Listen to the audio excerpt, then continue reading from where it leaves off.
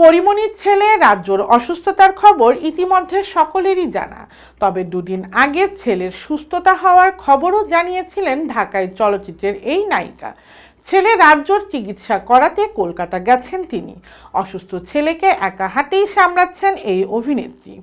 শরীফুল রাজের সঙ্গে বিবাহ বিচ্ছেদের পর পরিমণি স্পষ্ট জানিয়েছিলেন ছেলের সম্পূর্ণ দায়িত্ব তিনিই নেবেন। তাই তো কথা মতো ছেলেকে দুহাতে আগলে রেখেছেন তিনি।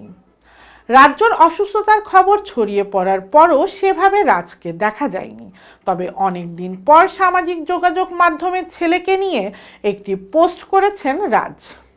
পরির সঙ্গে বিচ্ছেদের পর যেভাবে সোশ্যাল মিডিয়ায় তার কোনো স্টেটাস লক্ষ্য করা যায়নি, ছেলের অসুস্থতার খবর পাওয়ার পর নিজের ফেসবুকে রাজ লিখেন শাহিম মোহাম্মদ রাজ্য সেই সঙ্গে একটি ভালোবাসার স্টিকার। এর আগে গত বুধবার কলকাতায় যান নায়িকা পরিমণি। খাবারে বিষক্রিয়া থেকে অসুস্থ হয়ে পড়েছিলেন পরিমণি ও তার বাড়ির পাঁচ সদস্য। বাড়ির অন্যরা সুস্থ হলেও পরিমণির ছেলের শারীরিক উন্নতি না হওয়ায় তাকে সঙ্গে সঙ্গে কলকাতায় নিয়ে আসেন নায়িকা। খুবই অসহায়তা অনুভব করছিলেন তিনি। সে কথা সকলকে জানিয়েওছিলেন তবে ধীরে ধীরে সুস্থ হয়ে উঠেছেন নায়িকার ছোট্ট পদ্ম ওরফে রাজ্য। ট্যাক্সি করে মায়ের সঙ্গে শহরে ঘুরছেও সে। এতে মুখে হাসি ফুটেছে মা পরি। নিখিল জৈনকে ছেড়ে যশ দাশগুপ্তর সঙ্গে সংসার পাতেন নুসরাত জাহান। বেশ কিছু বছর তারা একে অন্যের সঙ্গে সংসার করছেন। এক পুত্র সন্তানকে নিয়ে তাদের সংসার। তারা টলিপাড়ার অন্যতম জুটি। তাদের ভক্তদের সংখ্যাও নেহাতি কম নয়। তবুও ট্রোল যেন কিছুতেই পিছু ছাড়ছে না। সোশ্যাল মিডিয়ায় বড়বারই সক্রিয় তারা। সম্প্রতি মুক্তি পেয়েছে এই জুটির ছবি ম্যান্টাল ছবির প্রচারে গিয়ে সম্পর্ক টিকিয়ে রাখার বিষয়ে মুখ খুললেন যশ ও নুসরাত।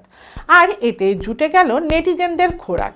ছবির প্রচারে গিয়ে সম্পর্ক টিকিয়ে রাখার বিষয়ে মুখ খুললেই ফের ট্রোলের শিকার হলেন তারা।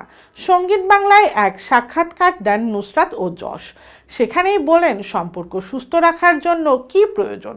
সম্পর্ক টিকিয়ে রাখার প্রশ্নের উত্তরে যশ বলেন, যেমন জিমে গিয়ে রোজ শরীরচর্চা করে আমরা নিজের বডি মেনটেন করি তেমনই সম্পর্কের ক্ষেত্রেও রোজ খেটে সম্পর্কের স্বাস্থ্যের যত্ন নেওয়া উচিত। আমার মনে হয় যতই ব্যস্ত থাকুন না কেন যশের কথা শেষ হতে না হতেই নুসরাত তাকে থামিয়ে নুসরাত বলে উঠেন বিশ্বাস করুন, আর তা কোনো দিন ভাঙবেন না। এই ক্লিপ সোশ্যাল মিডিয়ায় পোস্ট হতে না হতেই এই জুটিকে নিশানা করেন নেটিজেনরা। একের পর এক কমেন্ট ধেয়ে এলো পোস্টে, কেউ লিখলেন দুবার বিয়ে করে সম্পর্ক ঠিক রাখার উপদেশ। অবশ্য এসব কটাক্ষকে পাত্তাই দেন না নুসরাত ও যশ জুটি।